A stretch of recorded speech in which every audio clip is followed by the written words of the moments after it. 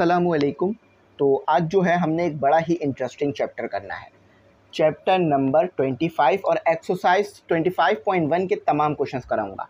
Chapter का नाम है कॉर्ड्स ऑफ़ अ सर्कल तो देखिए, याद रखें, अगर मैं आपको डायरेक्ट एक्सरसाइज 25.1 के क्वेश्चंस डायरेक्ट करा दूँ, बगैर सर्कल की टर्मिनोलॉजी समझाए, बगैर थ्योरम समझाए तो मेरे लिए तो बहुत आसान हो जाएगा। आधे घंटे में ये एक्सरसाइज कवर कर दूँगा मैं। लेकिन आप लोगों के साथ बहुत अनफेयर हो जाएगा, आपको कुछ भी समझ नहीं आएगा। तो सबसे पहले मैं आपको सर्कल में जो टर्मिनोलॉजीज इस्तेमाल होती हैं, ये जो इतने सारे सर्कल बनाए हैं ना, ये कोई पूरियाँ नहीं है, ये सर्कल्स हैं, ठीक है? तो ये मैंने आपको सबसे पहले टर्मिनोलॉजी सिखानी है सर्कल में, उसके बाद थ्योरम और फिर एक्सरसाइज इन फिर ये चैप्टर आपके लिए बहुत आसान हो जाएगा। अक्सर बच्चे कहते हैं ना कि, सर, समझ नहीं आ रहा। तो वो समझ आपको इसलिए नहीं आ पा रहा होता क्योंकि आपने टर्मिनोलॉजीज नहीं सीखी होती, ठीक है? तो वो समझना होगा। डॉक्टर बन रहे हैं तो डॉक्टर में आपको पता है बहुत सारी टर्मिनोलॉजीज़ होती हैं। इसी तरह सर्कल के चैप्टर में भी बहुत सारी टर्मिनोलॉजीज़ होती हैं। तो अब इनकी टर्मिनोलॉजीज़ समझते हैं। तो देखो, सर्कल में सबसे पहले आपके पास होता है सेंटर हर सर्कल में आपको क्या मिलेगा? सेंटर ठीक है सेंटर अब सेंटर की क्या खसूसियत होती है? सेंटर की ये खसूसियत होती है कि सेंटर से लेकर सर्कल के सरकम पर। अब सरकम क्या है? सर्कल की बाउंड्री को सरकम कहा जाता है। क्या कहा जाता है? सर्कल की बाउंड्री को सरकम कहा जाता है। जब भी आपसे कोई पूछ ले सरकम बेशक आपको शायद थोड़ा सा हार्ड वर्ड लग रहा हो, लेकिन कोई हार्ड वर्ड नहीं है, ये ईजी वर्ड है। तो सर्कल की बाउंड्री को आप क्या कहते हो? Circum C I R C U M F A R F E R E N C E circum तो ये जो नज़र आ रहा है ना आपको, ये ये बाउंड्री ये जो लाइन इसको क्या कहते हो आप? सरकम सी सी, आई, आर। सर, थोड़ी सी जगह कम है, इसलिए थोड़ा सा लिखने में टाइम लग रहा है। सरकम फेरेंस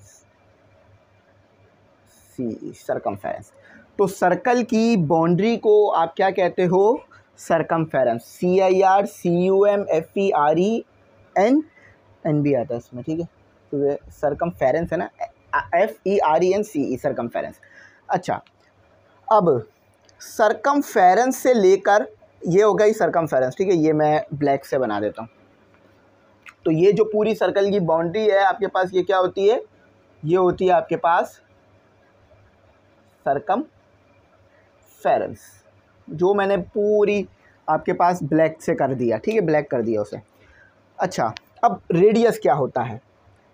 सेंटर से लेकर सरकम तक का डिस्टेंस आपके पास रेडियस होता है।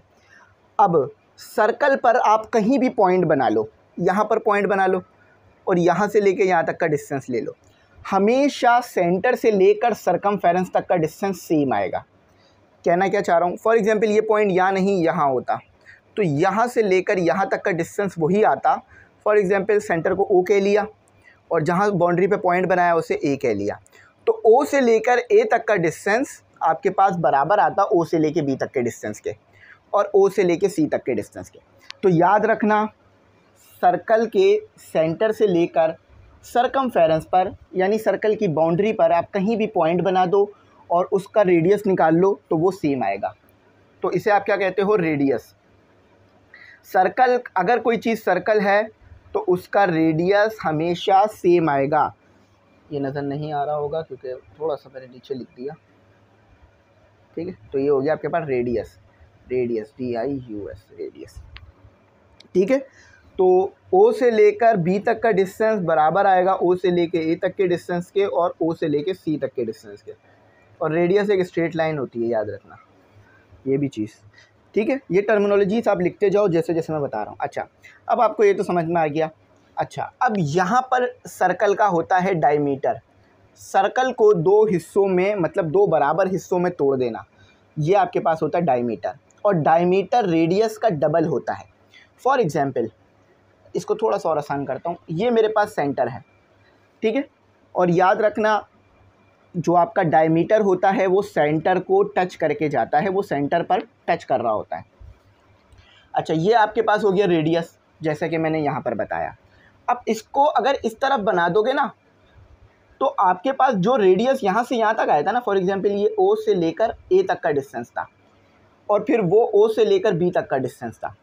तो आपके पास रेडियस का डबल होता है डायमीटर अगर आपके पास रेडियस आ रहा था टू तो अगर आप इसके साथ मल्टीप्लाई करा दोगे टू तो ये आपका हो जाएगा डायमीटर फॉर एग्जांपल आपके पास रेडियस आ रहा था सिक्स आप इसके साथ टू मल्टीप्लाई करा दोगे, ये हो जाएगा ट्वेल्व तो ये हो गया डायमीटर तो रेडियस का डबल होता है डायमीटर ये भी आप कह सकते हो। और आप इसका फॉर्मूला पढ़ चुके हो रेडियस निकालने का D equal to sorry radius निकालने का फॉर्मूला आप पहले पढ़ चुके हो R equal to D upon two यानी डायमीटर को टू से डिवाइड कर दोगे तो रेडियस आ जाएगा। तो इसी तरह से अगर रेडियस के साथ टू मल्टीप्लाई करा दोगे तो डायमीटर आ जाएगा, है ना? ये हम पढ़ चुके हैं। तो डायमीटर की एक और भी डेफिनेशन होती है कि ये सर्कल के सेंटर को टच करता है। और सर्कल के एक पॉइंट को दूसरे पॉइंट से मिलाता है। सर्कल के एक पॉइंट को दूसरे पॉइंट से भी मिलाएगा और डायमीटर और सेंटर को भी टच करेगा। ठीक है? ये सेंटर है, देखो, ओ ओ सेंटर है टच कर रहा है। ठीक है? तो ये आपके पास क्या हो गया? D I A dia M E T E R ठीक है? डायामीटर अच्छा अब डायामीटर हो गया, अब कॉर्ड समझते हैं। डायमीटर के अलावा आप कोई भी लाइन बनाओगे ना सर्कल में जो कि दो पॉइंट सर्कल के दो पॉइंट्स को टच करेगी, वो कॉर्ड होगी। फॉर एग्जांपल यहाँ पर डायमीटर है, ये डायमीटर है। अब आपने डायमीटर के जस्ट ऊपर एक लाइन बना दी तो ये कॉर्ड है आपके पास। कॉर्ड जो है वो सर्कल को कॉर्ड जो है वो सर्कल के दो पॉइंट्स को आपस में मिलाएगी, लेकिन सेंटर को टच नहीं करेगी। ये क्या है आपके पास? ये डायमीटर है। ठीक है, ये क्योंकि ये सेंटर को टच कर रहा है। लेकिन कॉर्ड कभी भी सेंटर को टच नहीं करेगी। अब फॉर एग्जांपल मैं यहाँ पर एक पॉइंट बना रहा हूँ। तो ये जो तीसरी लाइन मैंने बनाई है, ये डायमीटर है या कॉर्ड है? तो बिल्कुल सही। आपने बिल्कुल सही कहा, क्योंकि ये कॉर्ड है। क्यों? क्योंकि तीसरी लाइन सर्कल को टच नहीं कर रही है। तो इसीलिए वो लाइन जो दो सर्कल के सरकम के पॉइंट्स को मिलाए एक पॉइंट यहाँ पर था मेरे पास, एक पॉइंट यहाँ पर था। ठीक है? सरकम पे दो पॉइंट थे। दोनों को मैंने मिला दिया। लेकिन सेंटर को उसने टच नहीं किया। ये आपके पास कॉर्ड है। सिंपल कॉर्ड है। अच्छा अब इसके साथ साथ और भी टर्मिनोलॉजीज हैं। सर्कल के अंदर आपके पास होता है सेगमेंट सेगमेंट क्या है? ये हिस्सा। कोई भी ये हिस्सा ले लो या यहाँ पर ये हिस्सा ले लो, ये सर्कल का हिस्सा, ये टुकड़ा, इसे आप बोलोगे सेगमेंट या इस टुकड़े को भी कह सकते हो सेगमेंट सर्कल के किसी भी एक टुकड़े को आप कहोगे सेगमेंट क्या कहोगे? सर्कल के किसी भी टुकड़े को आप कहोगे सेगमेंट ये हो गया seg M E N T segment ठीक है सेगमेंट समझ गए सेगमेंट क्या होता है? कि सर्कल के किसी भी एक छोटे से हिस्से को आप सेगमेंट कह सकते हो। ये सेक्टर नहीं है। याद रखना, ये सेक्टर नहीं है। सेक्टर के जो दो आपके पास रेडियल सेगमेंट होते हैं, वो सेंटर को टच करते हैं। तो ये ये वो नहीं है रेडियल सेगमेंट नहीं है, ये सिर्फ़ सेगमेंट है। रेडियल सेगमेंट अलग चीज़ है, वो अभी बता रहा हूँ। अच्छा रेडियल सेगमेंट के बाद अब आपके पास आ जाता है सेंटर मैंने बता दिया डायामीटर मैंने बता दिया सेक्टर नहीं बताया। सेक्टर क्या होता है? ये सर्कल का आपके पास सेंटर है। सेंटर से आपने सर्कल के सरकम पर एक पॉइंट एक लाइन बनाई। अच्छा इस, सबसे पहले ना सेक्टर बनाने से पहले मैं आपको ना सेक रेडियल सेगमेंट का भी बता दूँ कि रेडियल सेगमेंट क्या होता है। ठीक है? तो जो ये लाइन आप बनाते हो ना, जो कि सेंटर और सरकम के पॉइंट को मिलाती है, उसे आप बोलते हो radial segment radial D I A L radial segment ठीक है? याद रखना रेडियल सेगमेंट क्या है?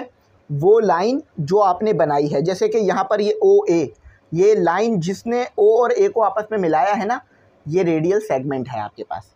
बेशक ये रेडियस कहलाएगा। लेकिन जो लाइन आपस में मिला रही है ना, दोनों पॉइंट्स को वो रेडियल सेगमेंट कहलाएगी। ठीक है? तो जो लाइन सेंटर को और आपके पास सरकम पर जो पॉइंट है उसको मिलाएगी, उसे बोलोगे रेडियल सेगमेंट और ये डिस्टेंस क्या है? इस सिर्फ़ लाइन को रेडियल सेगमेंट कह रहे हैं हम। ठीक है? और ये डिस्टेंस को आप रेडियस ही कहोगे, जैसे कि कहते आए हो। अच्छा आप सेक्टर को समझ लेते हैं। ये आपके पास एक रेडियल सेगमेंट आ गई, ये आपके पास एक और रेडियल सेगमेंट आ गई। यहाँ पर हमारे पास था ओ सेंटर और ए पॉइंट था यहाँ पर सर्कल पे और बी पॉइंट था यहाँ पर सर्कल पे। तो ये जो डिस्टेंस है ना, आपके पास ये जो डिस्टेंस है, ये डिस्टेंस मतलब ये जो एरिया है, इसको आप कहते हो सेक्टर सेक्टर बेसिकली एरिया होता है। सेक्टर क्या होता है? एरिया होता है। सेक्टर सेक्टर का फॉर्मूला भी आप पीछे पढ़ चुके हो। Half R square pi half R square theta half R square theta ठीक है तो ये जो हिस्सा मैंने कलर किया है, ये आपके पास क्या है? ये सेक्टर है। अब सेक्टर आप यहाँ भी बना सकते थे चाहते तो ये यहाँ भी बना सकते तो कहीं भी बना सकते हो सेक्टर वो मसला नहीं है। ठीक है, लेकिन बस दो रेडियल सेगमेंट्स होनी चाहिए उसमें। सेक्टर समझ गए आप? आखिरी चीज़ है आर्क आर्क क्या होती है? आर्क लेंथ पढ़ी है ना फिज़िक्स में सर्कुलर वाले चैप्टर में। तो यहाँ से लेकर ये जो इतना मैंने डिस्टेंस बनाया ना सर्कल पर। ये होती है arc. A R C. A R C, arc. Arc क्या है? ये जो मैंने डिस्टेंस बनाया ना सर्कल की सरकम पर सर्कल के सरकम पर ये जो कर्व बनाया है, ये आर्क है। आप चाहो तो आर्क यहाँ भी बना सकते हो। सर्कल पे कहीं भी बना सकते हो, यहाँ भी बना सकते हो आर्क, ठीक है? लेकिन मैंने वहाँ को सेलेक्ट किया तो इसलिए वहाँ पर बनाया। तो अब इन टर्मिनोलॉजीज़ को आपने अपने पास प्रिजर्व कर लेना है और अपने दिमाग में बिठा लेना है। सेंटर क्या है? सर्कल क्या है? सेंटर क्या है? सर्कल क्या है? डायमीटर क्या है? रेडियस क्या है? ये सारी चीज़ें आपको अच्छी तरीके से आनी चाहिए। ठीक है? अच्छा इसके साथ साथ एक और चीज़ भी बता दूँ कि सर्कल वही चीज़ होती है जिसमें आप सेंटर से लेकर सरकम पर कहीं भी पॉइंट निकाल लो रेडियस सेम आएगा। फॉर एग्ज़ाम्पल मेरे पास यहाँ पर ये रेडियस है ना, और ये लाइन रेडियल सेगमेंट है। कंफ्यूज नहीं होना रेडियल सेगमेंट और रेडियस में। डिस्टेंस को रेडियस कहेंगे, लेकिन जो लाइन मिला रही है, उसे आप रेडियल सेगमेंट कहोगे। अच्छा अब फॉर एग्जांपल मैं सेंटर से लेकर यहाँ तक का पॉइंट निकालूँ। तो ये भी हमारे पास सेम आएगा। मतलब मैंने निकाला ओ ए पॉइंट निकाला। ओ से लेकर ए तक का पॉइंट निकाला। डिस्टेंस निकाला। अब मैंने ओ से लेकर बी तक का डिस्टेंस तो ओ से लेकर बी तक का डिस्टेंस हमेशा सेम आएगा, अगर ये सर्कल है। इसी तरह से मैं सी बना देता हूँ तो ओ से लेकर सी तक का डिस्टेंस भी सेम आएगा। इसी तरह मैं यहाँ डी बना देता हूँ ओ से लेकर डी तक का डिस्टेंस भी सेम आएगा। ओ से लेकर ए तक के ओ से लेकर बी तक से, ठीक है? तो बाकी मैं मिटा देता हूँ ताकि जो चीज़ मैंने बनाई थी वो बनी रहे, ठीक है? तो ये तो हमारे सर्कल की टर्मिनोलॉजीज़ हो गई। अब जब मैं थ्योरम कराऊँगा, सब चीज़ें कराऊँगा ना, ये वहाँ पर ये सब इस्तेमाल होगा। ये सब वहाँ पर इस्तेमाल होगा। तो इसको लिख लो, ठीक है? याद रखना, इसको लिख कर याद रखना। ये थोड़ा सा रिमूव हो गया। अब सही करने जाऊँगा ना तो बहुत मुश्किल होगी। तो अब इसको मैं मिटा रहा हूँ। अब आ जाते हैं हम अपने थ्योरम्स की तरफ़। सबसे पहले थ्योरम करेंगे। इसमें तीन थ्योरम दिए मैं उसके बाद क्वेश्चंस हैं। क्वेश्चंस आसान हैं। कोई मुश्किल नहीं है। थ्योरम दिखा देता हूँ। थ्योरम बुक से ही करा रहा हूँ, क्योंकि बुक में गिवन है तो बुक से ही कराऊँगा। ठीक है? तो ये सब चीज़ें यहाँ भी इन्होंने डिफ़ाइन की हुई हैं, ये देख लो। लेकिन मैंने वहाँ डिफ़ाइन कर दिया।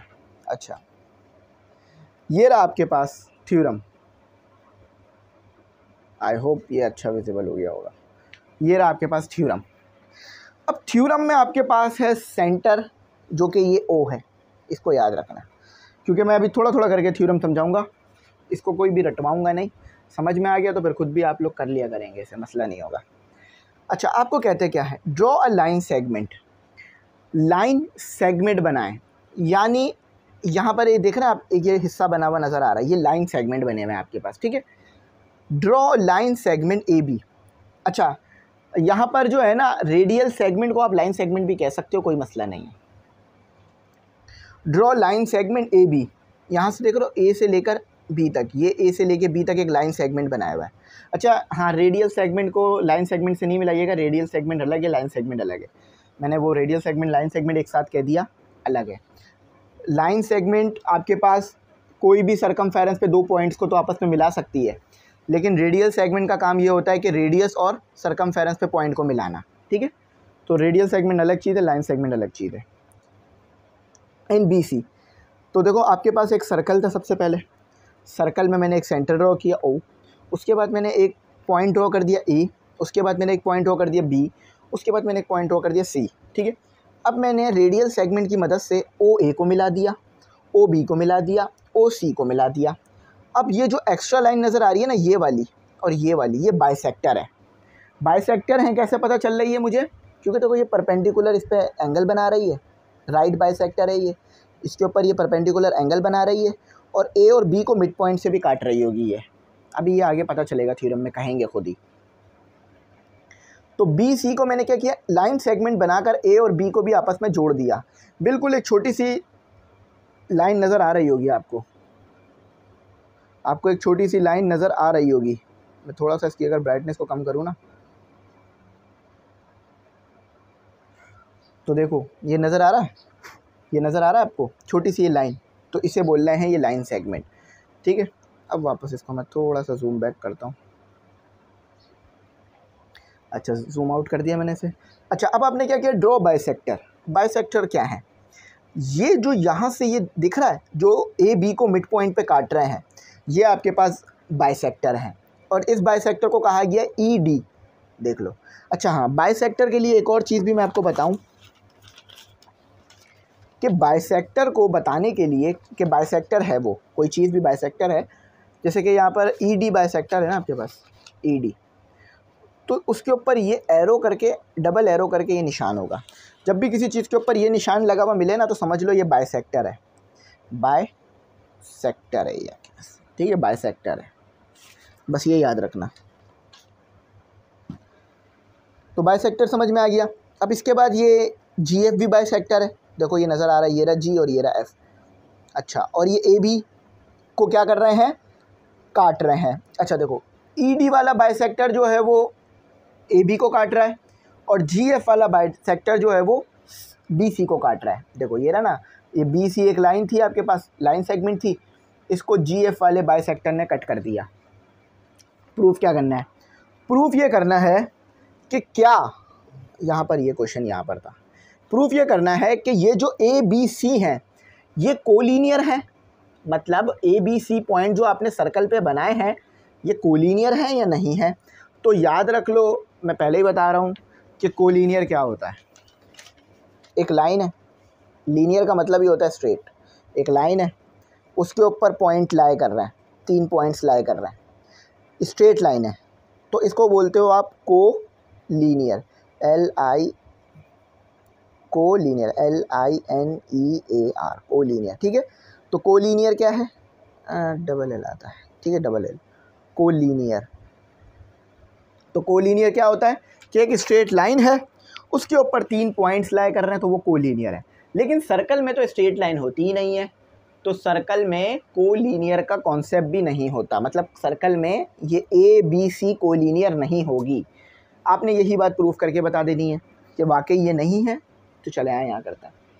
All points at E D are equal distance from A अच्छा देखो सर्कल है ना तो ओ से लेकर ए तक का डिस्टेंस ओ से लेके डी तक का डिस्टेंस ओ से लेके एफ़ तक का डिस्टेंस ओ से लेके सी तक का डिस्टेंस सेम होगा।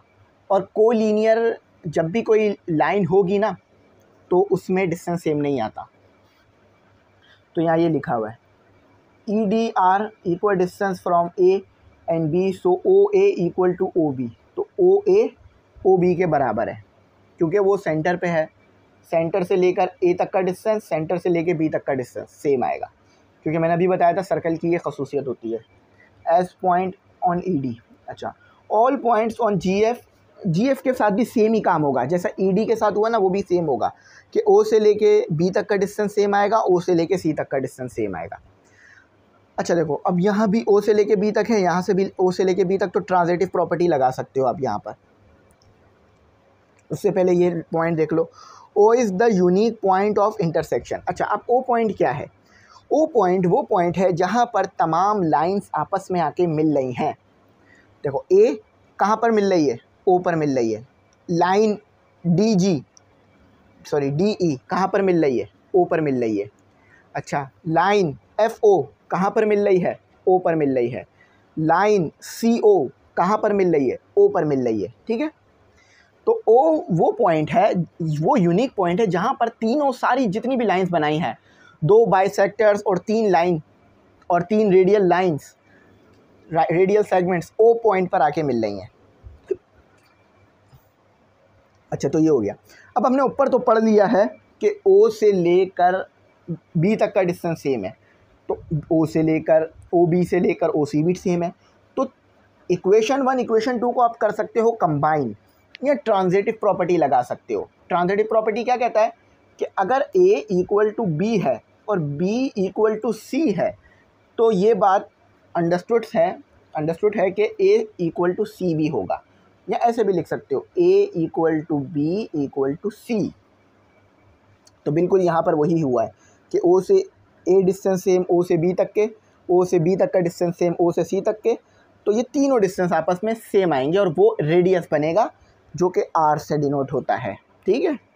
अच्छा अब वही बात लिखी हुई है the circle with centre only O and radius passing through A and B तो याद रखना सर्कल में कभी भी लाइंस को, कभी भी पॉइंट्स को लीनियर नहीं होते।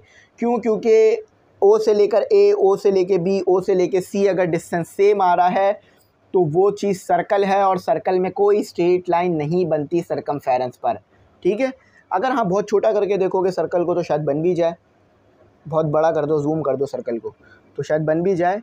लेकिन अगर दूर दूर पॉइंट्स बन रहे हो तो कोलिनियर नहीं होंगे, यही बात लिखा है। Therefore there exist one and only one circle centre at O and with radius R passing through non collinear points तो जितने भी ये पॉइंट्स होंगे कोलिनियर होंगे अगर ये पॉइंट्स कोलिनियर नहीं होते लीनियर होते, आप, आपस में कौन नॉन कोलिनियर नहीं होते कोलिनियर होते तो फिर ये सर्कल ही नहीं होता क्योंकि ओ से लेकर ए तक का डिस्टेंस ओ से लेकर बी तक के डिस्टेंस के बराबर नहीं आ रहा होता। अच्छा अब दूसरा थ्योरम भी आ गया है। दूसरा थ्योरम में आपके पास एक नई चीज़ आई है, वो आई है circumcircle circum sir circumcircle देखो सरकम सर्कल क्या होता है? ये बना हुआ कि सर्कल के अंदर ट्राइंगल बन जाना, ये सरकम सर्कल होता है। और सरकम सर्कल में आपके पास ट्राइंगल जो है ना, वो सर्कल के तीन वर्टेक्स को मतलब तीन पॉइंट को टच करेगा। जो ट्राइंगल बनाओगे ना, वो सर्कल के तीन पॉइंट्स को टच करेगा। यानी ट्राइंगल के तीन वर्टेक्स जो हैं, वो सर्कल के सरकम पे तीन पॉइंट्स को टच करेंगे। देखो, ये ट्राइंगल का जो रेड कलर से बना हुआ, ये क्या है? अभी बनाया ना सरकम सर्कल है। सॉरी वो सरकम है। तो सरकम पे देखो, ये ट्राइंगल एक पॉइंट पे यहाँ टच कर रहा है, एक पॉइंट पे यहाँ, एक पॉइंट पे यहाँ। और ट्राइंगल के क्या हैं ये वर्टेक्स हैं? जहाँ पर ट्राइंगल की दो लाइंस आपस में मिलती हैं, उसे वर्टेक्स कहते हो ना? आप ये देखो, ये वर्टेक्स होता है इस तरह से। ये वर्टेक्स होता है इस तरह से। तो ये वर्टेक्स है तो वर्टेक्स जो है वो सरकम, सर, सरकम जो है वो सरकम फेरेंस पे टच कर रहा है। तो चलें, अब इसको भी पढ़ते हैं। क्या जा रहा है कि prove that one and only one circle can pass through the vertex of a triangle vertex sorry prove that one and only one circle can pass through three vertex of a circle triangle फिर पढ़ देता हूँ, ये थोड़ा सा ना मुश्किल हो रही है। Prove that one and only one circle can pass through three vertex of a triangle मतलब आपके पास एक, सिर्फ़ एक सर्कल है, और उसके अंदर एक ट्राइंगल है। क्या ट्राइंगल के तीन वर्टेक्स टच कर सकते हैं सर्कल के सेंटर सर्कल के सरकम पर? मतलब ट्राइंगल के तीन वर्टेक्स सर्कल के सरकम पर आ सकते हैं। बिल्कुल आ सकते हैं, यहाँ पे बने हुए नज़र भी आ रहे हैं हमें। ट्राइंगल क्या है? ए बी सी नज़र आ रहा होगा, ये ए ये बी ये सी अच्छा विथ वर्टेक्स अब वर्टेक्स क्या है? ए बी सी अच्छा देखो, जहाँ पर दो लाइन्स आपस में मिलती हैं, मैंने बता दिया, वो वर्टेक्स होता है। फॉर एग्ज़ाम्पल ये क्या है? वर्टेक्स है दो लाइन आपस में मिल रही है ना। ये क्या है? वर्टेक्स से दो लाइन आपस में मिल रही है, ये भी वर्टेक्स से दो लाइन आपस में मिल रही है आकर। जहाँ पर दो लाइन्स आपस में एक दूसरे को मीट करती हैं, उसको हम वर्टेक्स कह देते हैं। और ये कहा जाता है, ठीक है ट्रायंगल और जोमेट्री की टर्मिनोलॉजी में। तो ये हो गए, अब आगे देखते हैं इसे। One and only one circle can pass through vertex of A B C A B C triangle अच्छा देखो ये डी ई क्या है? डी ई परपेंडिकुलर बाइसेक्टर है। या राइट बाइसेक्टर है। यानी साइट को दो हिस्सों में भी तोड़ देंगे और परपेंडिकुलर तोड़ेंगे। अब देखो, यहाँ पर ये छोटा सा रेड कलर का एंगल बनाया हुआ इन्होंने। क्यों बनाया है? क्योंकि ये परपेंडिकुलर बाइसेक्टर है। नज़र आ रहा है? बस इसे याद रखना, ये असल चीज़ है। अच्छा तो ए सी के लिए परपेंडिकुलर बाइसेक्टर क्या है? सबसे पहले ए बी को ज़िक्र कर लेते हैं। ए, बी के लिए परपेंडिकुलर बाइसेक्टर क्या है? तो ये ए है, ये बी है। इसके लिए परपेंडिकुलर बाइसेक्टर है D E. G, F G के लिए परपेंडिकुलर ए, बी के, बी सी के लिए परपेंडिकुलर बाइसेक्टर क्या है? ये बी है, ये सी है। तो इसके लिए परपेंडिकुलर बाइसेक्टर है, एफ़ जी कह लो या जी एफ़ कह लो, ठीक है? एक ही बात है। ए, सी के लिए परपेंडिकुलर बाइसेक्टर क्या है? H, I. ठीक है, देखो ये एच है, ये आई है। तो परपेंडिकुलर बाइसेक्टर समझ गए तीनों लाइंस के आप? तीनों साइड्स पे परपेंडिकुलर बाइसेक्टर्स बनाए गए हैं। ये इसलिए बनाए गए हैं ताकि ओ से लेकर जहाँ पर ये तीनों, चारों सारी लाइनें मिलेंगी ना, वो सेंटर होगा सर्कल का। तो ये सर्कल का सेंटर आ गया। जहाँ पर तमाम परपेंडिकुलर बाइसेक्टर्स मिल रही हैं, जहाँ पर तमाम जो है वो लाइन मिल रही हैं, वैसे तो तीन परपेंडिकुलर बाइसेक्टर मिल रहे हैं ओ पर तो वो यूनिक पॉइंट ऑफ़ इंटरसेक्शन होगा हमारे पास। अच्छा अब कंस्ट्रक्शन तो हो गई हमारे देख लेते हैं। अच्छा O is the unique point of intersection और वो ओ पॉइंट ही सेंटर है, जहाँ पर बाइसेक्टर्स आपस में मिलती हैं आकर तमाम। अगर एक भी नहीं मिल रही होती ना तो इसका मतलब ये है कि सर्कल के अंदर वो नहीं होता सेंटर लेकिन ये सर्कल है तो इसलिए इसके पास सेंटर तो होगा ही होगा। तो तमाम बाइसेक्टर एक ही पॉइंट पर आके मिलेंगी। अगर दो मिल रही होती, एक नहीं मिल रही होती तो इसका मतलब ये होता कि सर्कल नहीं है ये। लेकिन तीनों मिल रही हैं तो इसका मतलब ये कि ये सर्कल है। तो ये सेंटर पे मिल लेंगी जाकर, खुद ही मिलेंगी। आपको मिलाने की ज़रूरत नहीं पड़ेगी, खुद ही मिल जाएँगे। बस आप सही तरीके से ड्रॉ करना परपेंडिकुलर बाइसेक्टर को। तो ये सेंटर आ गए। यहाँ पर यही बात लिखी हुई है कि ये D E G F G N G I H I are non parallel lines तो ये नॉन पैरल्स हैं, आपको नज़र आ रही हैं एक दूसरे के तो कोई पैरल नहीं आ रही लाइन मुख्तलिफ़ एंगल्स पे एक दूसरे को कट कर रही हैं. एंगल सेम नहीं है. तो points O is circum of अच्छा पॉइंट ओ से लेकर सरकम फेरेंस यहाँ पर देखें क्या कह रहा है? The point O is circumcentre अच्छा सरकम सेंटर क्या होता है? सरकम सर्कल का जो सेंटर होता है ना, वो सरकम सेंटर कहलाता है. सरकम सर्कल का जो सेंटर होता है. फॉर एग्ज़ाम्पल यहाँ देखें. ये रहा ना सरकम सर्कल है। तो इसका जो सेंटर होगा ना, वो सरकम सेंटर कहलाएगा। सरकम सर्कल का सेंटर सरकम सर्कल का सेंटर क्या कहलाता है? सरकम सेंटर तो सरकम सेंटर क्या है? वो सेंटर है आपके पास। सर्कल का भी होगा और ट्रायंगल का भी सेंटर ही बन जाएगा वो शायद। अभी देखते हैं। अच्छा तो देखो भाई, अब तो सेंटर आ गया ना तो सेंटर से लेके ओ तक का डिस्टेंस भी सेम होगा। सेंटर से लेके ओ सी तक का भी डिस्टेंस सेंटर से लेके बी तक का भी डिस्टेंस तो देखो ओ से ए डिस्टेंस सेम ओ से बी सेम ओ से सी सेम इसे आर कह दिया हमने। इसको डेफिनेशन ऑफ़ सरकम सेंटर के मुताबिक। अच्छा the circle with centre O and radius R pass through vertex अच्छा वो सर्कल जिसके अंदर सेंटर ओ आ जाए तो इसका मतलब ये है मतलब अगर, मैं समझाता हूँ, अगर सर्कल में जो ट्रायंगल बना है, उसने तीनों वर्टेक्स को टच करा है, जब ही जाकर इसके बाइसेक्टर्स जो हैं, वो आपस में इंटरसेक्ट करेंगे। फिर समझ लो कि अगर ये जो ट्रायंगल बनाया है सर्कल में, इसने तीनों वर्टेक्स को टच कर रखा है और बाइसेक्टर जो हैं, वो तीनों एक जगह पे मिल रहे हैं तो जब भी आपके पास जो ओ से लेके सी तक का डिस्टेंस ओ से लेके बी ओ से लेके ए तक का डिस्टेंस सेम आएगा। अगर एक भी वर्टेक्स टच नहीं कर रहा होता तो बाइसेक्टर्स आपस में नहीं मिलते। तो फिर ये नहीं होता आपके पास सरकम सर्कल। अच्छा अब ये हो गया, अब दूसरा करता है। अब ये शेप क्वाड्रलेटल है। बहुत सारे आपको इसमें वो नज़र आ रहे होंगे, पहले मैं ये क्वाड्रलेटल शेप समझा दूँ। क्वाड्रलेटल है, कैसे पता चल रहा है कि इसके चार वर्टेक्स हैं? यहाँ भी आपने वही बताना है कि क्या क्वाड्रलेटल के चार वर्टेक्स सर्कल को टच कर सकते हैं? चलें चेक करते हैं। शो डेड सिर्फ़ वन सर्कल है आपके पास। One and only one circle can pass through vertex of quadrilateral vertex का है? यानी चारों वर्टेक्स की बात हो रही है, तीन वर्टेक्स की नहीं। तो यहाँ फोर वर्टेक्स होगा। F O U R quadrilateral क्या है आपके पास?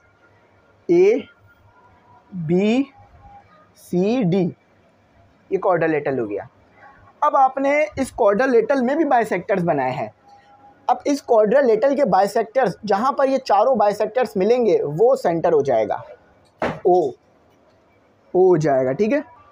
तो समझ गए ना? अब बताते हैं बस बाइसेक्टर्स तो देखो, अब यहाँ पर ना ये बहुत मुश्किल लग रही होगी डायग्राम लेकिन कोई नहीं है, सबसे पहले सर्कल बनाना, फिर A B C D quadrilateral बनाना, अब उसके बाद बाइसेक्टर्स लाना परपेंडिकुलर बाइसेक्टर्स लाना, ठीक है? अच्छा अब ए बी के लिए परपेंडिकुलर बाइसेक्टर क्या है आपके पास? एल एफ़ ठीक है? नहीं ए बी के लिए परपेंडिकुलर बाइसेक्टर एल एफ़ नहीं है। इसको सही से देखना पड़ेगा क्योंकि मुझे भी देखने मुश्किल हो रही है। ई एफ़ है बल्कि, ये ई एफ़ है। ये जो लाइन जा रही है ना, नज़र आ रही है? दो लाइनें नज़र आ रही हैं। अब एक लाइन जो है ना, वो परपेंडिकुलर बाइसेक्टर है ई एफ़ के लिए।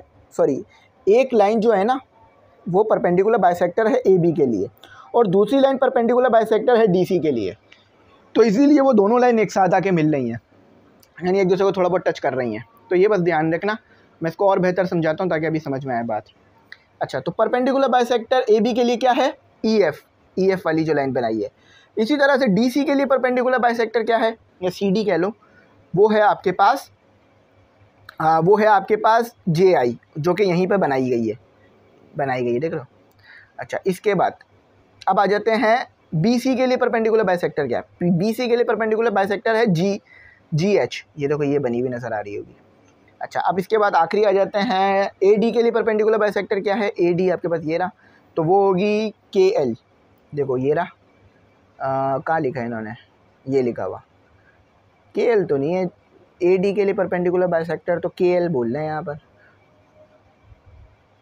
के और एल के एल ए डी के लिए नहीं है परपेंडिकुलर बाइसेक्टर के एल तो डी सी के लिए है। यहाँ शायद थोड़ी सी मिस्टेक नज़र आ रही है। क्योंकि देखो के एल ये कह रहे हैं परपेंडिकुलर बाइसेक्टर है ए डी के लिए। जबकि ए डी के लिए तो परपेंडिकुलर बाइसेक्टर आई जे है। तो ये थोड़ा सा इसको सही करना। आई जे को इधर लिख लेना के एल को इधर लिख लेना, फिर सही हो जाएगा। ठीक है? हो जाता है। अब इतना तो ये जूम करके गए हैं उसको सॉल्व करने के लिए। इतनी तो मिस्टेक चल, हो जाती है कभी कभार लेकिन आप सही कर लेना ताकि आपका ना मिस्टेक हो इसमें। काफ़ी मुश्किल एक्सरसाइज है।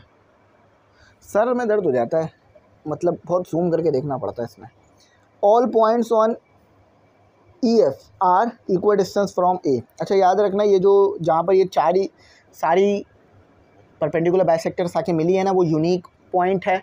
यूनिक पॉइंट ऑफ़ इंटरसेक्शन है। यूनिक पॉइंट ऑफ़ इंटरसेक्शन है, उसी को सेंटर कहेंगे हम। तो बस वही बात है ओ से लेकर ए तक का डिस्टेंस सेम अगर ये सर्कल का सेंटर आ गया है तो ओ से लेकर ए तक का डिस्टेंस सेम ओ से लेके बी का डिस्टेंस सेम होगा ओ से लेकर ए तक के डिस्टेंस से ओ के ओ से लेके सी तक का डिस्टेंस सेम होगा ओ से लेके बी तक के डिस्टेंस के। तो वही बात लिखी हुई है ओ से लेके ए तक का डिस्टेंस सेम ओ से लेके बी तक। कॉन्ग्रुएंट कह लो सेम कह लो, एक ही बात होगी इधर। ओ से लेके सी तक का डिस्टेंस सेम ओ से लेके डी तक। अभी तमाम डिस्टेंस अगर सेम आ रहे हैं तो फिर यहाँ पर आप वो कंबाइन कर सकते हो इन सबको। क्योंकि देखो, ये वाला ओ ए ये वाला ओ ए से कंपेयर हो गया तो आपके पास ओ ए ओ डी के बराबर आ गया, ठीक है? और ओ बी के भी बराबर आ गया। इसी तरह से अब यहाँ भी ओ डी है तो इस तरह से तमाम के तमाम ओ A O B O C O D बराबर आ जाएँगे। यानी पहले देखो, दो इक्वेशन को कम कंपेयर कंबाइन कर लो। पहले किसी भी दो इक्वेशन को कंबाइन कर लो। तो मैंने ओ ए को कंबाइन कर लिया ओ डी को कंबाइन कर लिया, ठीक है? और ओ बी को कंबाइन कर लिया, ठीक है? ये देखो कंबाइन कर दिया मैंने। ठीक है कंबाइन कर दिया। क्योंकि देखो, यहाँ भी ओ ए था, यहाँ भी ओ ए था, ये ओ बी था ओ डी था तो मैंने सबको बराबर लिख दिया। अब इसके अलावा ओ बी यहाँ भी बराबर है तो ओ सी के भी बराबर आ जाएगा तो O A equal to O D equal to O B equal to O C ठीक है, इस तरह हुआ। थोड़ा सा इसकी प्रैक्टिस करिएगा, ताकि अच्छा समझ में आ जाए। अच्छा बाकी यहाँ तो यही बताया हुआ है कि वो यूनिक पॉइंट्स ऑफ़ इंटरसेक्शन है, जहाँ पर तमाम की तमाम परपेंडिकुलर बाइसेक्टर्स आके मिल रही हैं। देखो ये अच्छी खासी परपेंडिकुलर बाइसेक्टर्स बनी हुई है ना तो ये जहाँ पर आके मिलेंगी वो सेंटर होगा। ओ का हो गए उसे आप। ओ इज़ इक्वल डिस्टेंस जो बात ऊपर करनी चाहिए थी वो नीचे बताइए इन्होंने कि ओ जो है वो इक्वल डिस्टेंस पर है, यानी इक्वल डिस्टेंस होता है सेम डिस्टेंस यानी ओ से लेकर ए तक का डिस्टेंस भी सेम आएगा ओ से लेकर बी तक के डिस्टेंस के ओ से लेकर सी तक का डिस्टेंस सेम आएगा ओ से लेकर डी तक के डिस्टेंस के, और ओ से लेकर डी तक का डिस्टेंस ओ से लेकर ए तक के डिस्टेंस के सेम आएगा। सारे डिस्टेंस सेम है इक्वल टू आर लिख लिया रेडियस है वो। तो यूनिक सर्कल अच्छा जो यूनिक सर्कल होता है, यानी जो एक सर्कल होता है, अगर उसमें आप कॉर्डलेटल बना दो, और उस कॉर्डलेटल के चारों वर्टेक्स देखो ये, आपके पास एक सर्कल है, आपने सर्कल बना दिया। अब उस सर्कल के अंदर जो कॉर्डलेटल बन रहा है, अगर उस कॉर्डलेटल के चारों वर्टेक्स सर्कल के सरकम को टच कर रहे हैं तो उनके जो बाइसेक्टर्स होंगे ना कॉर्डलेटल के बाइसेक्टर्स वो एक पॉइंट पर आके मिलेंगे, और वो पॉइंट सेंटर होगा। तो यही बात इधर बता रहे थे, इसको हमने कर लिया। अब कर लेते हैं इसके क्वेश्चंस तो यहाँ पर एक, एक आधा घंटा तो आपके सामने है कि पूरा इसी में निकल गया हमारा। क्योंकि देखिए मैंने आपको भले ही बताया था अगर मैंने ये थ्योरम नहीं समझाया तो आपको कभी भी बात समझ आएगी नहीं। तो अगर फिर भी कुछ नहीं समझ में आया तो पूछ लेना। अब इतना टाइम तो नहीं है कि मैं लिखवा सकूँ तो इसलिए जो सॉल्व है उसी में से मैं आपको बता देता हूँ क्योंकि समझ समझना ही है लिखना ही है इसमें।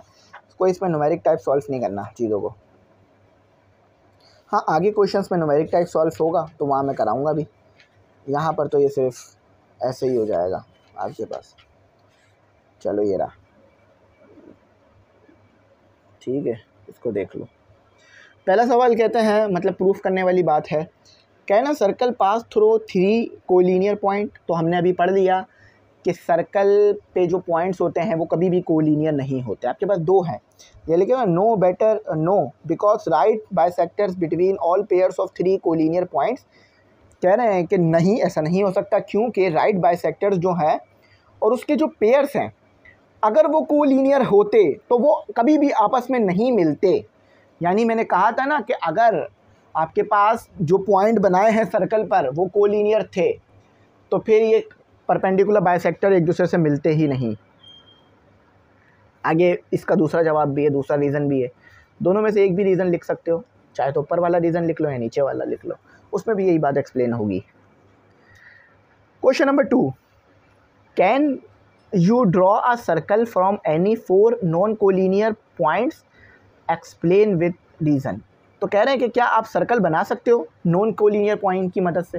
तो बिल्कुल नॉन कोलिनियर पॉइंट की मदद से ही सर्कल बनाया जाता है। अगर कोलिनियर पॉइंट होंगे तो फिर सर्कल बनेगा ही नहीं, वो एक स्ट्रेट लाइन बनेगी। देखो, अब देखो मेरे पास कोलिनियर पॉइंट है। ये ये ये ये ये। तो ये तो स्ट्रेट लाइन बन गई। हाँ अगर नॉन कोलिनियर है, यानी एक ही लाइन पे नहीं आ रहे हैं स्ट्रेट लाइन पे तो ही तो सर्कल बनेगा आपके पास। ठीक है? थोड़ा टेढ़ा मेढ़ा बन गया, लेकिन इसी तरह होता है। तो यही लिखा हुआ है। येस इट इज़ पॉसिबल तो हाँ ये पॉसिबल है कि नॉन कोलिनियर पॉइंट से सर्कल बन जाए। ये पॉसिबल नहीं है कि कोलिनियर पॉइंट से सर्कल बन जाए। ठीक है? याद रखना। तो ये बात याद रखना है लिखा हुआ yes it is possible only when the quadrilateral formed by joining अच्छा इसमें कॉर्डलेटल बनेगा। क्यों? क्योंकि आपके पास जो कोलिनियर पॉइंट्स है, वो चार होंगे। और अभी हमने पढ़ रखा है पीछे। हमने उसका ये देखा, ये देखो, यहाँ भी आपके पास कॉर्डलेटल दिया हुआ ये एक। बेशक सर स्क्वायर है, लेकिन है तो कॉर्डलेटल ही ना, क्योंकि चार वर्टेक्स हैं। फिर उसके बाद वो कौन सा कॉर्डलेटल है, ये अलग चीज़ होती है। पैरेलोग्राम भी हो सकता था, और फिर वो भी हो सकता था ट्रेपीजियम याद रखना ये ट्रेपीजियम, पैरेलोग्राम और स्क्वायर, रेक्टेंगल, ये चारों के चारों आपके पास क्वाड्रिलेटल होते हैं, क्योंकि इसमें चार वर्टेक्स आते हैं। अभी आगे ना पेंटागन आएगा तो पेंटागन को भी देखेंगे। ये रहा पेंटागन तो अब आगे आगे बढ़ते हैं।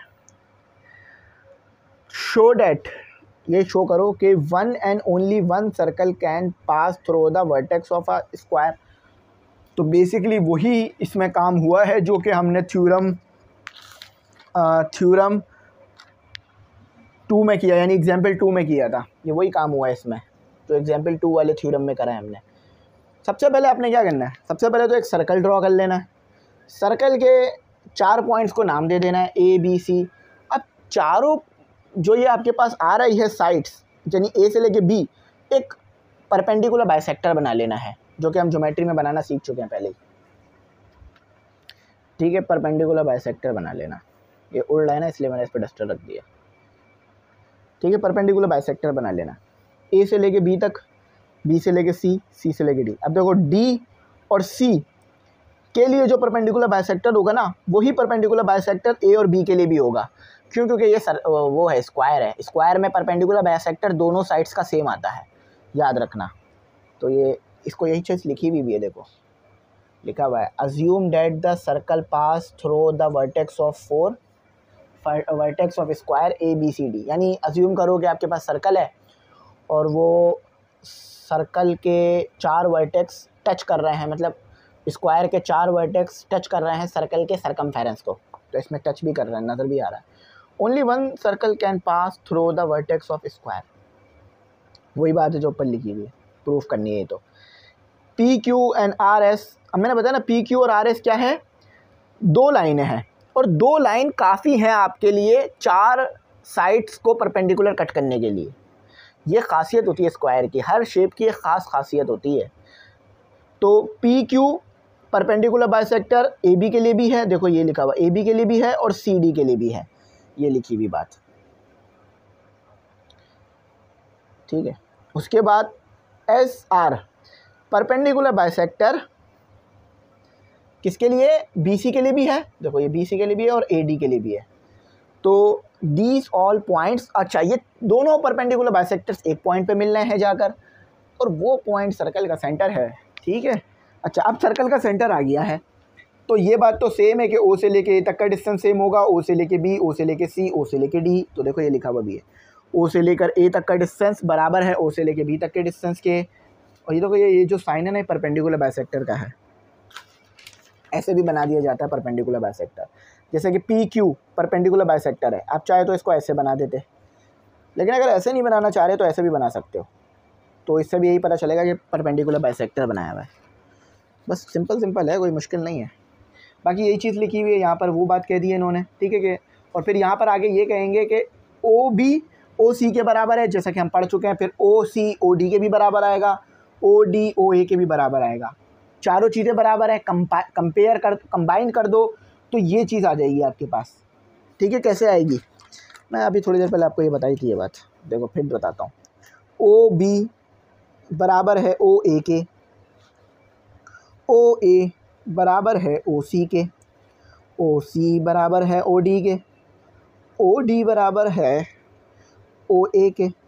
सबसे पहले इन दो को कंपेयर कर दो। कंबाइन कर दो। तो ओ बी ओ ए दो टाइम है तो एक टाइम आ जाएगा और ओ सी हो जाएगा। अब इसको और इसको भी कंपेयर कंपेयर कर कंबाइन कर दो। तो ओ बी ओ ए ओ सी दो टाइम है ना ओ सी इधर भी इधर भी तो ओ डी तो देख रहे हो, ये चीज़ आ गई। देख रहे हो? बस यही करना था यहाँ और कुछ नहीं करना था। अच्छा बाकी अब आपको पता है कि अगर चारों डिस्टेंस आपके पास बराबर आ रहे हैं रेडियस के तो इसका मतलब ये है कि जो स्क्वायर का वर्टेक्स है, उसने टच किया होगा सर्कल के सरकम को किसी पॉइंट पर। जब ऐसा हुआ है पॉसिबल तो ये ज्योमेट्री का हमारा एक कॉन्सेप्ट हो गया। अब आ जाते हैं चौथे कॉन्सेप्ट के, चौथे क्वेश्चन के ऊपर। सेम काम ही करना है। बस अब शेप आपके पास ना, उसकी है, क्या कहते हैं पेंटागॉन की। अब पेंटागॉन क्या होता है? पाँच वर्टेक्स वाली शेप पेंटागॉन होती है। देखो, एक वर्टेक्स दूसरा वर्टेक्स देखो, ये एक वर्टेक्स हो गया, ये दूसरा वर्टेक्स हो गया। अच्छा अब इसको बनाना भी बड़ा मुश्किल होता है। ये तीसरा वर्टेक्स हो गया। ये दो वर्टेक्स होगा जिनको मैं ना डार्क कर रहा हूँ। अच्छा अब ये तीसरा वर्टेक्स हो गया, ये चौथा वर्टेक्स हो गया। अब ये पाँचवा वर्टेक्स हो गया, देखो तो ये ये वाला पाँचवा वर्टेक्स है। समझ में आ रहा है? अब मैंने थोड़ा बहुत करीब करीब बनाया ना तो शायद शेप समझ में आ रही है, इसको थोड़ा बड़ा करके बनाता हूँ। देखो, ये एक लाइन ये दो लाइन ये तीन लाइन, ये चार लाइन, ये पाँचवीं लाइन। पाँच लाइनें बनाएँगे तो पाँच वर्टेक्स बनेंगे। एक वर्टेक्स दो वर्टेक्स तीन वर्टेक्स चार वर्टेक्स पाँच वर्टेक्स ये पेंटागॉन कहलाता है। पाँच वर्टेक्स वाली शेप पेंटागन कहलाती है। अब वो किस तरह का पेंटागन है, उसकी अलग स्टडी होती है। लेकिन वो हायर ज्योमेट्री में होगी। अभी आप उतनी हायर ज्योमेट्री में नहीं गए हैं कि आपको वो पाँच वर्टेक्स वाली किस तरह की शेप बनी है, इसको भी थ्योरम से प्रूफ करके दिखाया जाए। तो अभी तो आप सिर्फ़ आम ज्योमेट्री या नॉर्मल बेसिक ज्योमेट्री कर रहे हैं ना तो इसलिए आपको ये नहीं कराएँगे। और है भी नहीं है गिवन भी नहीं है। आगे हो तो शायद हो, लेकिन अभी तो नहीं है। ठीक है तो आप चलें, आगे बढ़ते हैं, आगे करते हैं। तो तो पेंटागॉन शेप आपको अच्छी समझ में आ गई है। तो अब हमने करना है, बस इसे समझ लिया है, हमने ये पेंटागॉन है। तो हमने यही बताना है कि पेंटागॉन के पाँच वर्टेक्स क्या सर्कल के सरकम पे टच करेंगे? तो देखिए लिखा मैं। Assume that the circle pass through the vertex of regular pentagon regular pentagon यानी एक जो पेंटागॉन की बेसिक शेप होती है ना, ये वो है। To prove only one circle can pass through the vertex of a square A B C D E तो देखें कंस्ट्रक्शन तो पेंटागॉन में क्या होगा कि हर साइड के लिए आपको अलग अलग परपेंडिकुलर बाइसेक्टर चाहिए होगा।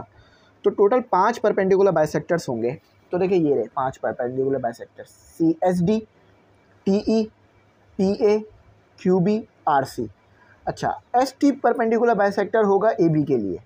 अब ए बी साइड देखो, ये रही आपके पास। और ये परपेंडिकुलर बाइसेक्टर बना हुआ है। देखा, मैंने एंगल भी बनाया नाइन्टी का। इसी तरह से आ, इसके ऊपर देखेंगे तो आप तीर का साइन बना हुआ है डबल तीर वाला। शायद नज़र ना आ रहा हो लेकिन मैं थोड़ा सा इसे अगर डार्क करूँ तो ऐसे होता। जो पॉसिबल नहीं क्योंकि बहुत छोटा लिखा हुआ है ना तो इसलिए। समझ लो ऐसा साइन बना हुआ है। एस टी के ऊपर ऐसा साइन बना हुआ है।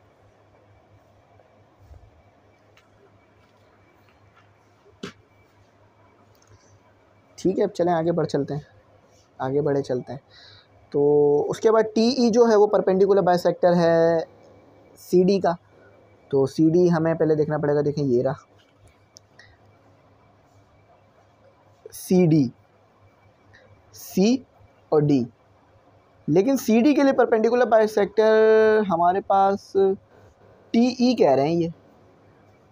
टी ई e तो परपेंडिकुलर बाइसेक्टर बी सी के लिए है। तो ये गलती है, ये बी सी होगा। इसको बी सी करना, जो मैंने काटा है ना, इसे बी सी करना। तो इसी तरह से पी ए परपेंडिकुलर बाइसेक्टर होगा सी डी के लिए बिल्कुल सही है। यहाँ डी ई लिखा हुआ है। ये भी शायद गलती है, क्योंकि परपेंडिकुलर बाइसेक्टर क्यू बी है। तो इसे क्यू बी करना भाई। क्यू बी परपेंडिकुलर बाइसेक्टर है डी ई के लिए। ठीक है? क्यू बी क्यू बी ये वाला परपेंडिकुलर बाइसेक्टर इसके लिए। अच्छा आकर में परपेंडिकुलर बाइसेक्टर है R S R C R C का है। आर सी परपेंडिकुलर बाइसेक्टर है। ई e ए के लिए हाँ ये सही है। बाकी तो सही है, जो थोड़ा बहुत है, उसको सही कर लेना। बाकी आपको पता है परपेंडिकुलर बाइसेक्टर जहाँ पर मिलेंगे, वो आपके पास होगा यूनिक पॉइंट ऑफ़ इंटरसेक्शन यानी सेंटर अब सेंटर से लेकर आपको पता है डिस्टेंस ओ से लेकर ई ओ से लेकर ए तक का डिस्टेंस बराबर होगा ओ से लेकर बी तक का डिस्टेंस क्योंकि एक प्रॉपर सर्कल ड्रॉ हुआ है ना तो प्रॉपर सर्कल में तो ये खसूसियत रहती है। इस तरह से ओ से लेके बी तक का डिस्टेंस सेम होगा ओ से लेके सी तक के बराबर होगा ओ से लेके पी तक का डिस्टेंस या ओ से लेके डी तक का डिस्टेंस ओ से लेके ई तक के डिस्टेंस के बराबर होगा। ओ से लेके ई तक का डिस्टेंस ओ से लेके डी तक के डिस्टेंस के सारे डिस्टेंस बराबर हैं, इसको कंबाइन कर दोगे तो ये सब रेडियस के बराबर आ जाएँगे, देखो ये। इसमें पाँच साइड्स हैं तो पाँच ही वर्टेक्स होंगे ओ A O B O C O D O ई ये सब रेडियस के बराबर हैं तो बिल्कुल ये बात प्रूफ हो रही है हमारे पास कि अगर एक पेंटागन है और सर्कल में बना है। और साथ ही साथ वो सर्कल के पाँच वर्टेक्स उस सर उस पेंटागॉन के पाँच वर्टेक्स सर्कल के बाउंड्री को टच कर रहे हैं। तो फिर आपके पास परपेंडिकुलर बाइसेक्टर्स एक पॉइंट पे जाके मिलेंगे। वो पॉइंट होगा यूनिक पॉइंट ऑफ़ इंटरसेक्शन और आपके पास ये कंडीशन प्रूफ हो जाएगी कि जो चीज़ है वो सर्कल है और वो टच कर सकते हैं। बस ये बात याद रखना। अब, मेरे पास दो कंडीशन है। पहली कंडीशन मैं ये करूँगा कि मैं आपको ना ये चीज़ जो है ना, ये यहीं से समझा दूँगा। इसका सोल्यूशन बोर्ड पे करा दूँगा। बड़ा ही इंटरेस्टिंग और मज़ेदार क्वेश्चन है। अब कैसे? पता चल जाएगा अभी। तीन विलेज हैं। देखो लिखा हुआ है। एक एक करके बताता हूँ। इनशाला ये अच्छा समझ में आएगा। ये बोर्ड के लिए मोस्ट इंपॉर्टेंट क्वेश्चन है। बुक गंदी कर रहा है ये। बुक ख़राब हो रहा है इससे। ये मैं रख रहा हूँ ना डस्टर। तो डस्टर को रखने से पेज ख़राब हो रहा है। चलें कोई बात नहीं। हाथ ही रख लेते हैं। तो तीन विलेज हैं three villages are situated in the way that अच्छा ये तीन विलेज किस तरह से हैं? मतलब इनकी लोकेशंस क्या हैं? इनके एल्टीट्यूड क्या है? मतलब इनके ये कहाँ पर लोकेटेड है? तो बी इज़ ईस्ट जो बी विलेज है ना यानी जो विलेज बी है जिसका नाम बी है भावलपुर कह लो। चलो भावलपुर तो शहर है। आ, कोई भी विलेज बी से आता हो उसका नाम वो ए के ईस्ट में है। ए के मुकाबले में ईस्ट में है, यानी देखो ये नॉर्थ साउथ वेस्ट ईस्ट तो ए के मुकाबले में ईस्ट आपने बी विलेज बना दिया। एट अ डिस्टेंस ऑफ़ और डिस्टेंस में कितने छः किलोमीटर दूर है ए विलेज से। यानी ए विलेज और बी विलेज के दरमियान का डिस्टेंस है छः किलोमीटर का। अगर कोई ए विलेज से बी में जाएगा तो छः किलोमीटर का डिस्टेंस ट्रेवल करना पड़ेगा। इसी तरह से सी विलेज बी के मुकाबले में नॉर्थ में है, यानी ऊपर की तरफ़ है। और वो एट किलोमीटर के डिस्टेंस पर है।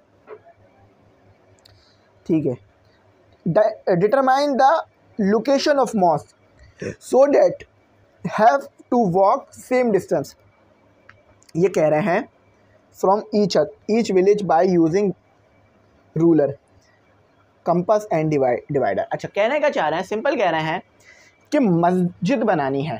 ठीक है, मस्जिद बनानी है और मॉस को ऐसी जगह पर बनाना है कि तीनों विलेज से आने वालों के लिए सेम डिस्टेंस पर बन जाए। मतलब अगर कोई ए विलेज से आ रहा है, उसको भी सेम डिस्टेंस ट्रैवल करना पड़े for example four four kilometre का, या फोर सेंटीमीटर लिखा हुआ है क्या? हाँ फोर किलोमीटर का हाँ। तो ए से अगर कोई ए विलेज से आए, ये ओ पॉइंट पे विलेज बने ओ पॉइंट पे जो है ना, मस्जिद बनेगी आपकी। तो कोई अगर ए ए से आए मतलब ए विलेज से आए तो उसको फोर किलोमीटर ट्रैवल करना पड़े। सी से आए तो भी फोर किलोमीटर ट्रैवल करना पड़े, और बी से आए तो भी फोर किलोमीटर तो ऐसा करने के लिए आपको विलीज को आपको मॉस को सेंटर में बनाना पड़ेगा। और ए बी सी को वर्टेक्स ए बी सी को आपको वर्टेक्स लेना पड़ेगा और ये सरकम पे बनेंगे सर्कल के। तो सिंपल है। अगर विलेज के सेंटर में बनती है मतलब सर्कल के सेंटर में बनती है मस्जिद, और विलेज और जो गाँव हैं, वो जो है सर्कल के सरकम पे बनते हैं तो फिर डिस्टेंस सेम आ जाएगा। एक बार थोड़ा और अच्छी तरह एक्सप्लेन करता हूँ कि ये विलेज जो है ना वो सर्कल के सरकम पे बन रहा है। विलेज का बन रहा है सर्कल के सरकम पर। तो सेंटर पर अगर हम मॉस बना देंगे ना तो ए से लेकर ओ तक का डिस्टेंस भी सेम हो जाएगा ओ से लेके बी तक का डिस्टेंस भी सेम हो जाएगा ओ से लेके सी तक का डिस्टेंस ये तीनों डिस्टेंस एक दूसरे के बराबर आ जाएँगे।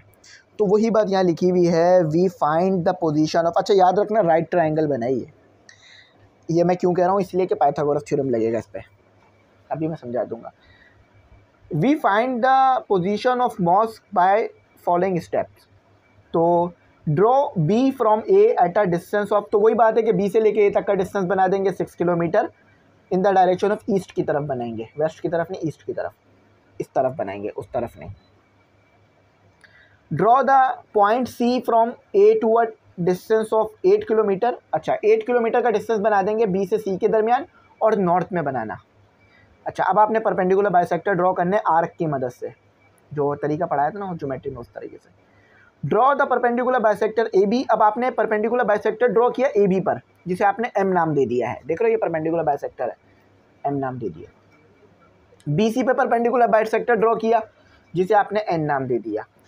एम जो है वो परपेंडिकुलर बाइसेक्टर ए पी पे बना है ए बी पे बना है। और बी सी पे परपेंडिकुलर बाइसेक्टर एन बना है।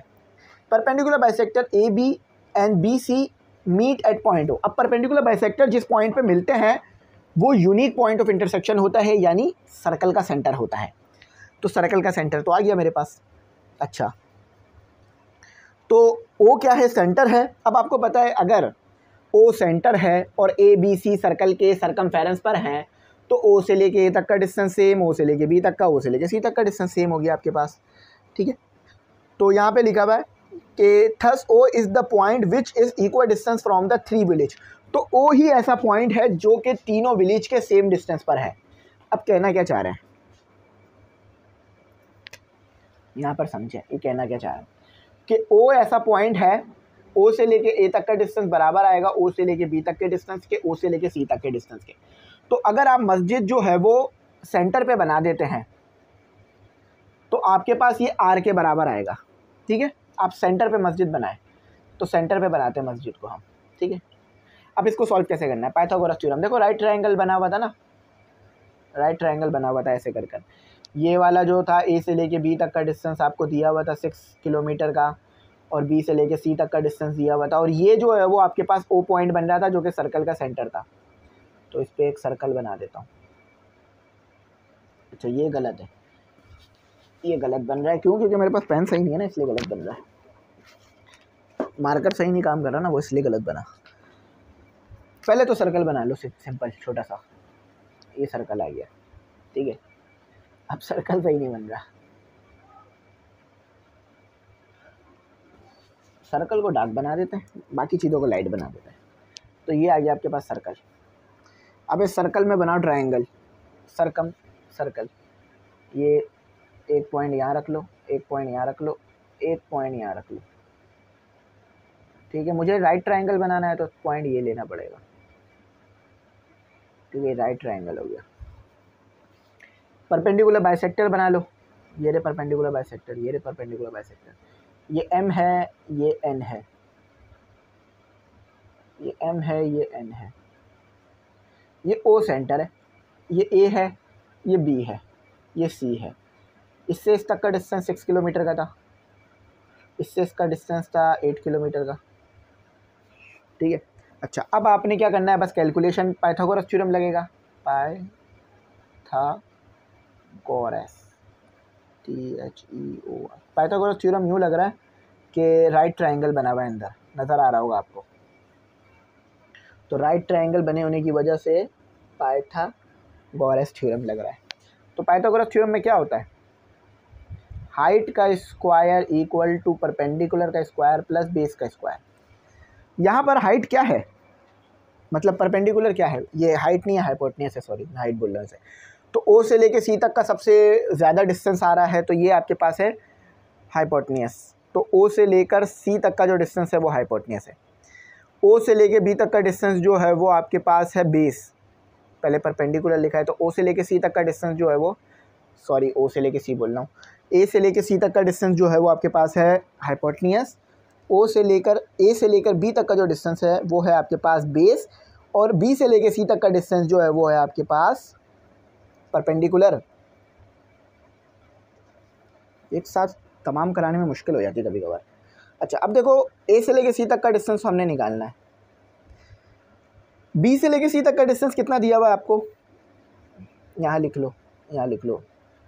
बी से लेकर सी तक का डिस्टेंस आपको वहाँ गिवन भी है, मैं यहाँ लिख देता हूँ। बी से लेकर सी तक का डिस्टेंस आपको दिया हुआ है एट किलोमीटर का। और ए से लेके बी तक का डिस्टेंस आपको गिवन है। मैं हाथ रख नहीं पा रहा ना, इसलिए सही नहीं बन रहा। ए से लेके बी तक का सिक्स किलोमीटर का। ठीक है, समझ में आ गया? तो अब यहाँ पे पुट कर दो, बी सी कितना दिया हुआ है आपको? एट किलोमीटर का स्क्वायर प्लस ए बी कितना देगा सिक्स किलोमीटर का स्क्वायर। सॉल्व करो इसे कैलकुलेटर की मदद से, या वैसे भी कर लो। सिक्सटी फोर सिक्सटी फोर हो गया आपका, एट का स्क्वायर सिक्सटी फोर हो गया और सिक्स का स्क्वायर थर्टी सिक्स हो गया। Sixty four plus thirty six equal to hundred. आपको ए सी पता करना नहीं था ए सी का स्क्वायर नहीं पता करना था ए सी पता करना था। तो ए सी आपके पास आ गया, ये स्क्वायर से स्क्वायर रूट कैंसिल हो गया, ये टेन हो गया। अब आपने तो हाइपोटनियस निकाल ली हाइपोटनियस के मिड पर ये पॉइंट बन रहा है। तो मिड पॉइंट निकालने के लिए क्या करना पड़ेगा? इसे टू से डिवाइड तो ए सी तो फाइव किलोमीटर पे अगर आप मस्जिद बनाते हो तो ए विलेज ए से आने वाले को भी सेम डिस्टेंस ट्रेवल करना पड़ेगा। ये देखो ए सी नहीं है ये। ये ए सी नहीं है। ये ओ ए है। ये आपके पास क्या है? ये सिर्फ़ ए सी नहीं है। ये जो आपने डिवाइड किया ना इसे टू से तो ये क्या आ रहा है आपके पास? ओ से लेकर ए तक का डिस्टेंस ओ से लेकर बी तक का डिस्टेंस ओ से लेकर सी तक का डिस्टेंस जो कि रेडियस है, जो कि फाइव किलोमीटर आ रहा है। तो अगर आप फाइव किलोमीटर पर मस्जिद बनाओगे तो विलेज बी से आने वाले को भी फाइव किलोमीटर ट्रैवल करना पड़ेगा और सी से ओ की तरफ़ आने वाले को भी फाइव किलोमीटर ट्रैवल करना पड़ेगा ओ से ए की तरफ़ आने वाले को भी फाइव किलोमीटर ट्रैवल करना पड़ेगा, या ए से ओ की तरफ़ जाने वाले को। तो आप बनाओ ओ पर मस्जिद तो ये ओ है। सर्कल का सेंटर है ये बेसिकली तो फाइव किलोमीटर पे बनेगी मस्जिद। तो आई होप ये समझ में आ गया होगा, मैंने ये गाइड करा पूरी तरह से। जितना डिटेल में मैं जा सकता था। इसको ए सी लिख लो या सी ए लिख लो, एक ही बात होगी। ठीक है? तो ये ओ है आपके पास basically O five kilometre. Centimetre लिखा है देखिए किलोमीटर को। बहुत देर से पढ़ा रहा हूँ ना, इसलिए हो रहा है सर। तो आई होप समझ में आ गया होगा, अगर कुछ ना आया हो तो पूछ लेना, मैं गाइड कर दूँगा इनशाला ठीक है? ग्रुप्स में ऐड हो जाना नोट्स बाय कर लेना, चाहिए हो तो ताकि आपको मिल जाए। थैंक्स फॉर वॉचिंग अल्लाह हाफिज़, अपनी कीमती दुआओं में। ज़रूर याद